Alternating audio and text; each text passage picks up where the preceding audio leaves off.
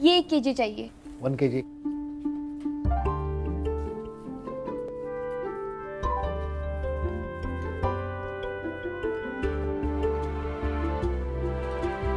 जब फिनिक्स का हो साथ, शक की क्या बात? फिनिक्स स्विंग स्केल्स, बस यही है जो सही है।